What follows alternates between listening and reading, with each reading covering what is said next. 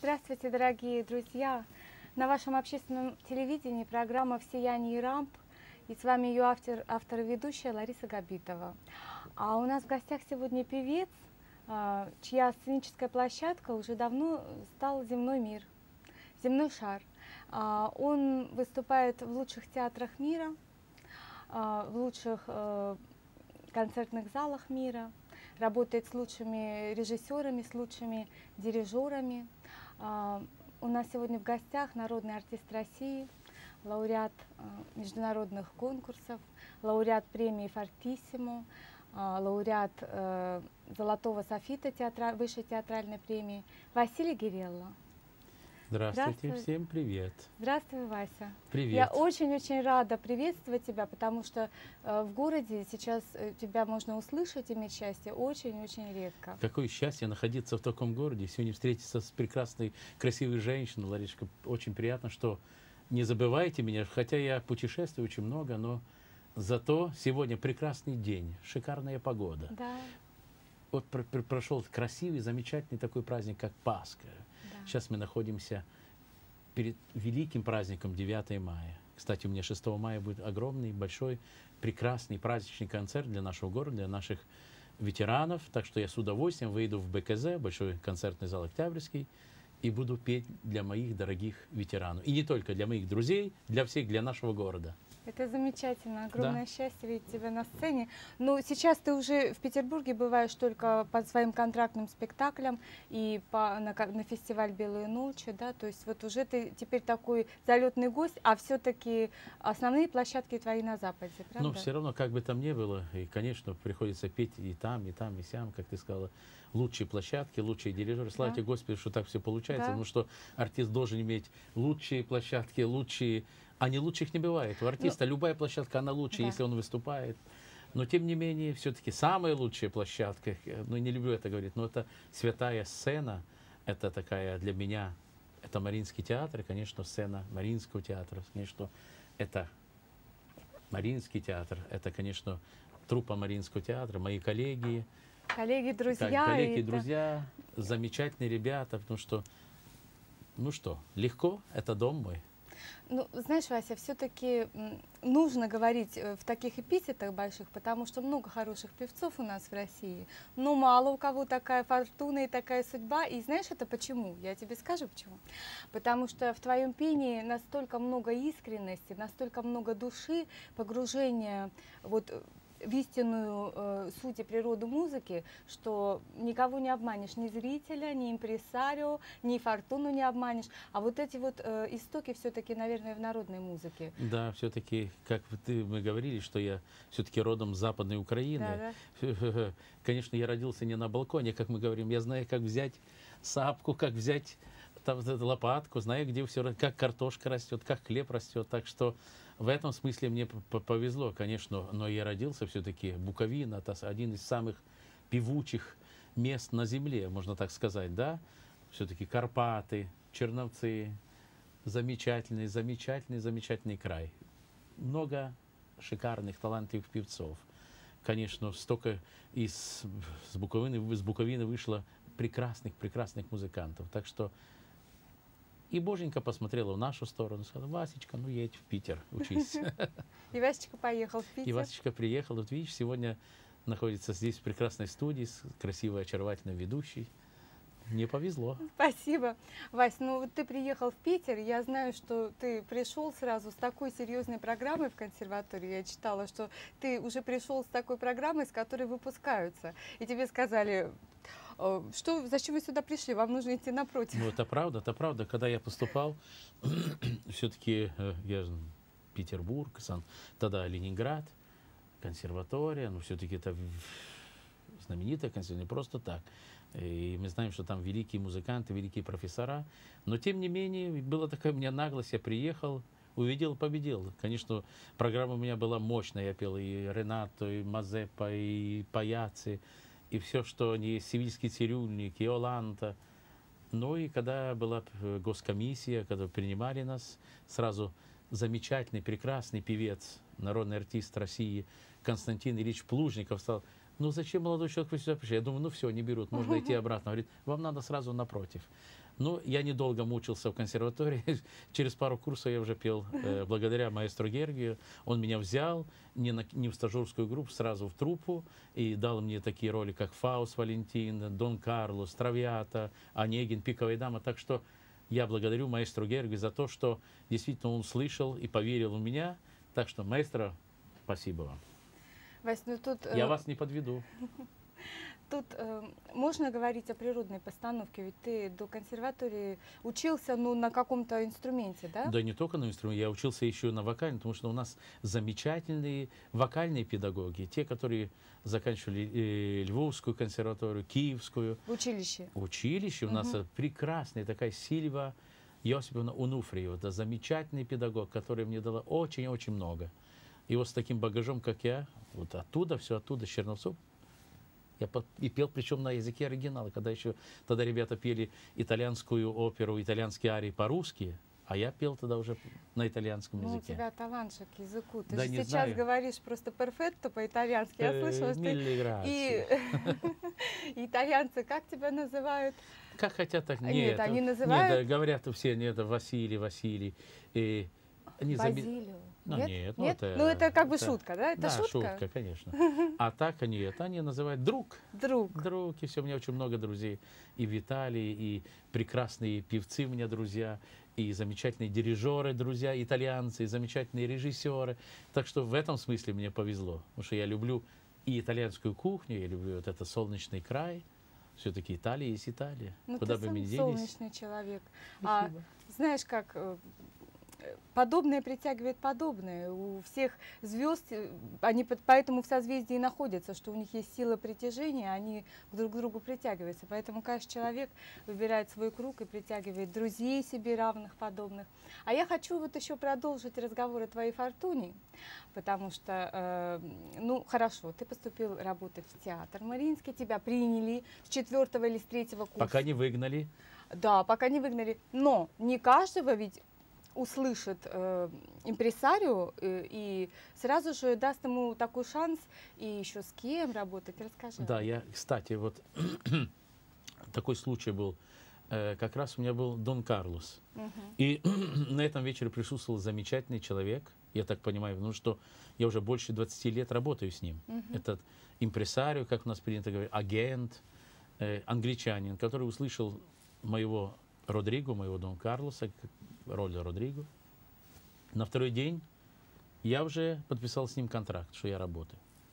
И с тех пор, видишь, как получается, что больше 20 лет я с ним работаю. Он меня не подвел ни разу, я его ни разу не, под, не подвел. И, но первая мне была на Западе самая лучшая роль сивильского цирюльника мне попалась. Э, причем Фигаро, причем с такими замечательными профессорами, как Дарио Фо, замечательный режиссер, драматург, сценарист, лауреат Нобелевской премии он, и замечательный дирижер Альберто Дзеда, который, как говорится, съел на этом зубы, знаешь, как говорят у нас. Это великий профессор Россини. Так что вот мне повезло, так, который первые шаги на Западе у меня были. Конечно, я до этого пел, пел концерты, но вот по-настоящему вот такая постановка, как «Севильский цирюльник» Руссини, «Фигаро», Угу. Это было вот сделано вот с такими, с такими великими мэтрами. людьми, великими, настоящими да. мэтрами. Так что в этом смысле мне очень сильно повезло. Потому что Фигаро непростая партия. Во-первых, там очень много речитативов, надо понимать, о чем ты поешь. И, и трудно чисто технически вокально. Да, безусловно. Тогда в то время ты уже знал итальянский настолько, Да, чтобы... да, да, потому что это не было проблем. Для меня с этим как раз консерватории выучил хорошо. До консерватории. До консерватории. И, к счастью, так и, и я пел в Италии, что когда писала критика, что говорит, не видно, не слышно, что человек прожил или живет в России. Как угу. будто всю жизнь прожил у нас в Италии, причем с каким-то там еще акцентом, акценто, акценто миланезе было. С каким-то таким Акцентом высокородным, миланск. да? Ну, ага. там самый, ну... говорит, самый лучший язык, там, говорят, то в, э, во Флоренции, да, угу. то, что принято говорить. Да. Но все-таки там если ты возьмешь любой регион, там неаполитанский, он совсем другой, сицилийский другой, миланский другой. Да-да. Все это, это диалекты, диалекты. Так что лучше знать, чем больше знаешь, тем лучше. Да. Конечно, но у каждого приобретается какой-то свой вдруг Да, такой да. какой-то акцент. А партии свои ты готовил здесь в Мариинском театре или все-таки? Ну, не все партии. Конечно, очень много я делал, и, конечно, в Мариинском театре, потому что у нас замечательные, замечательные музыканты. Я очень много делал и делаю с Мишук Марина Васильевна, который прекрасный мой друг, замечательный пианист, замечательный музыкант, который можно свободно делать и Моцарта, и Верди, и русскую музыку. Так что в этом смысле мне очень сильно повезло. Да и замечательный, вот, Ларисечка, вот ты прекрасный музыкант, с которым я могу э, обратиться вот так. Ты никогда не отка- И много-много других наших э, замечательных пианистов, это, как на Западе говорят, коучи, да. Но, тем не менее, наши прекрасные, с, с большой буквы, конечно, музыканты.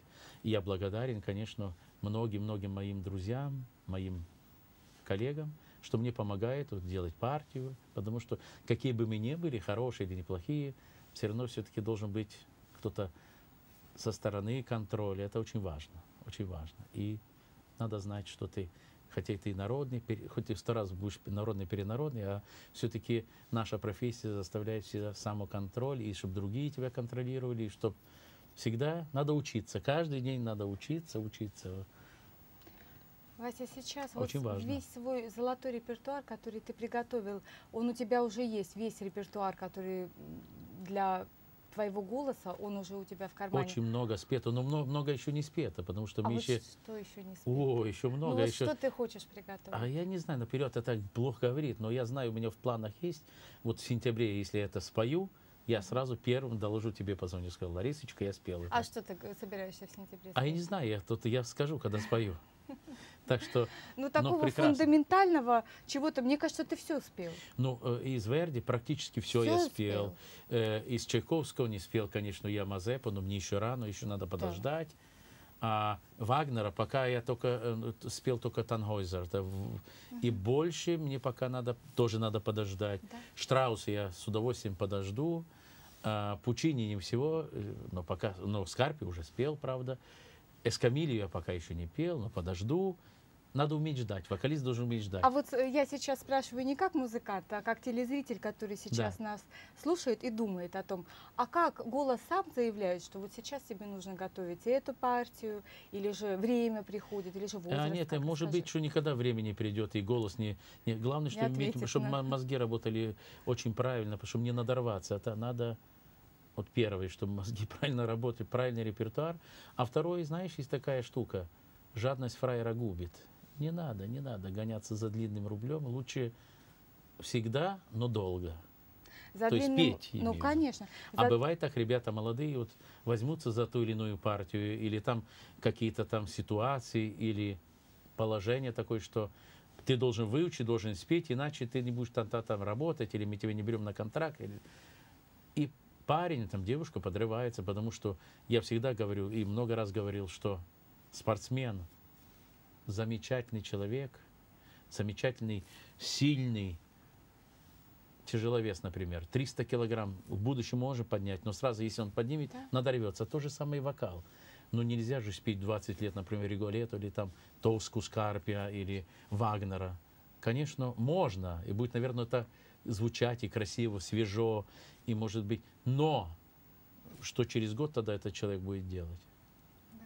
Все-таки это надо беречь. Но это мудрость, Боженька нам видишь? дала, это надо беречь. Надо к этому относиться очень, очень трепетно. очень Бережно, трепетно, и бережно. как дару. И понимать, понимать, что это такое вот, не каждому дано это.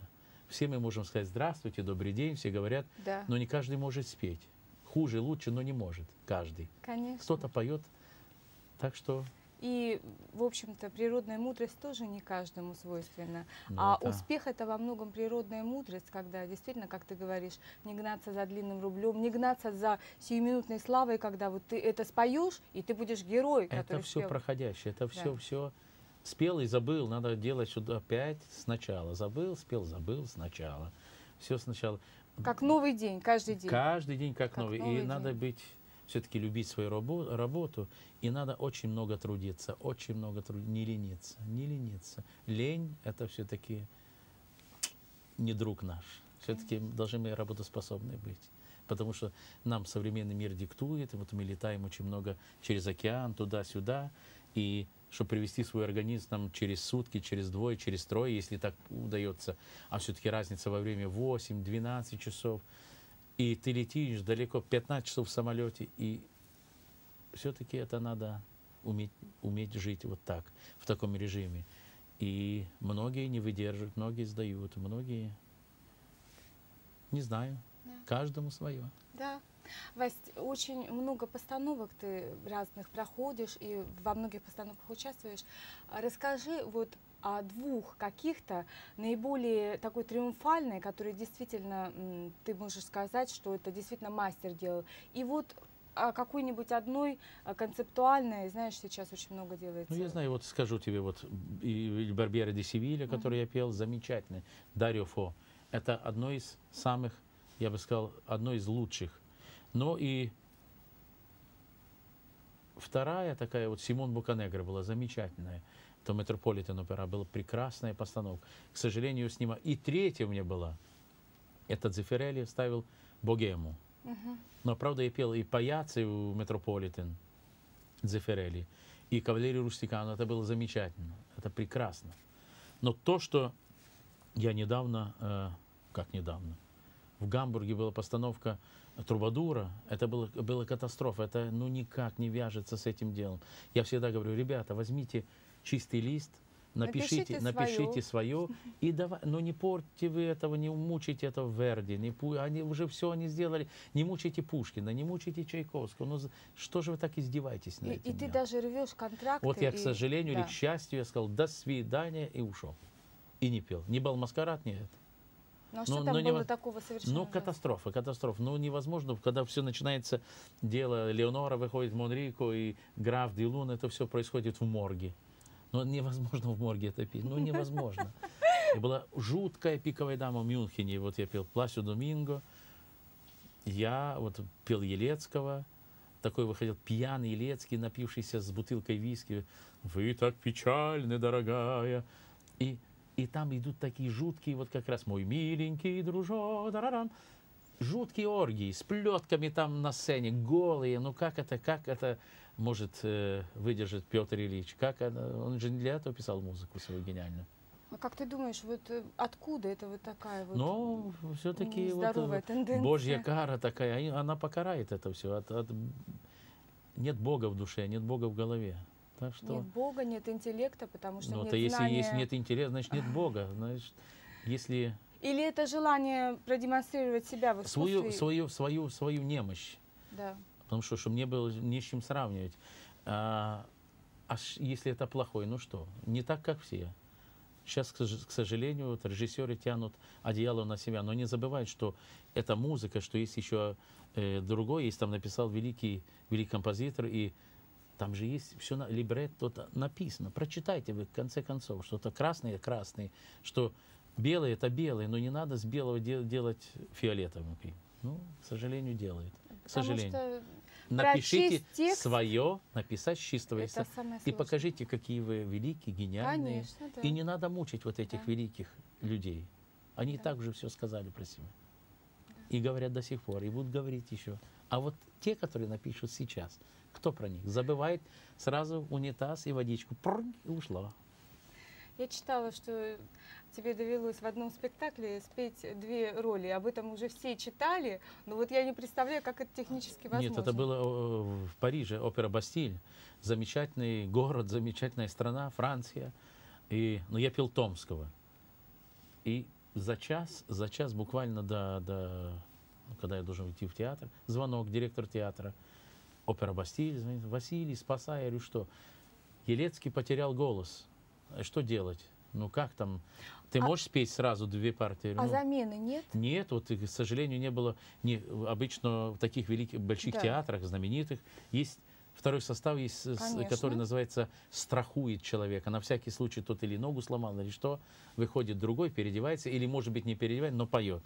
Но так как, наверное, пожадничали для того человека, который страхует гонорар, и пришлось мне петь. И я, правда, пел. А второй актер ходил и открывал рот, что ли? Нет, не или открывал, он просто бедняжка. Просто. Он потерял прекрасный баритон, шикарный парень с хорошим голосом. Ну, заболел, бывает, человек не робот. Это не то, что современно эти фанеру включил и пошло. Нет, Да. это, ну, бывает, ну, с кем всякое бывает. И, но, тем не менее, я пел все, все как положено. Так что я... Было, было, то есть. Ну, публика иногда даже любит вот какие-то такие моменты, когда что-то происходит, когда Но она это видит была постановка. Льва Абрамовича Додина как раз. Была замечательная постановка, так что прекрасный мастер Додин, Лев Абрамович. Прекра... Не, был хороший дирижер, Юровский Володя. Это было все прекрасно. Ну, так, так случилось. Ну, с кем не бывает. Ну да. Ну, Лучше, чтобы этого не было, но конечно, так но получилось. удивительно, что не было никакой замены, а именно было вот... э, Ну, видишь, в так Бог, таком- Бог хотел, чтобы я вышел в Ну, этот понимаешь, в двух ролях. Это- продемонстрировать и Елецкую, и Томскую, потому что два разных, а два ты разных темперамента. как-то изменить голос, когда Да пел? не успевал, потому что там «И как сюда по бедняга, бедня, вы так печальны, дорогая». Как будто сам собой Да, общался. сам собой, да. Ты как сюда попал? Да, здесь я в первый раз. Сам себе. Я говорю, ну, это смешно, Да. но было. Смешно, ну, забавно. Да. Это, знаешь, тоже может в такую вот мировую историю оперного искусства войти как вот такой забавный курьез, потому Ну, что, вот. ну, таких не очень много, Я думаю, согласись. что да, ну и причем два баритона в, в Да. одной опере, так, Да. две роли. Василий, Да, ты представляешь, что у нас так быстро прилетело Спасибо. время? И я очень-очень рада. Скажи, пожалуйста, а Аленушка с тобой летает, когда ты все постоянно? время, Всегда все время, да, ну 25 лет 25 лет. летает. Да. Мы все время летаем. Как птица, летаете, Да, да. летаете. Спасибо тебе Спасибо большое, вам. что ты сегодня Спасибо пришел. тебе, вам, в вашей прекрасной студии. Потому что я очарован, видишь, так я даже не знал, что есть такие прекрасные люди, которые с- в современной студии. Замечательно. Желаю Так что- тебе огромного-огромного успеха, который у тебя уже есть, но чтобы он всегда был с тобой, и здоровья тебе желаю, и благополучия твоей И я тебе с Богом. Тебе. С Богом, с с Богом, с Богом. С Богом. Дорогие телезрители, вы имеете счастье услышать э, Василия Гирелла на сцене, и мы сейчас включим запись. До свидания. С вами была программа «В сиянии рамп» и ее автор и ведущая Лариса Габитова, а с нами был народный артист России Василий Гирелло.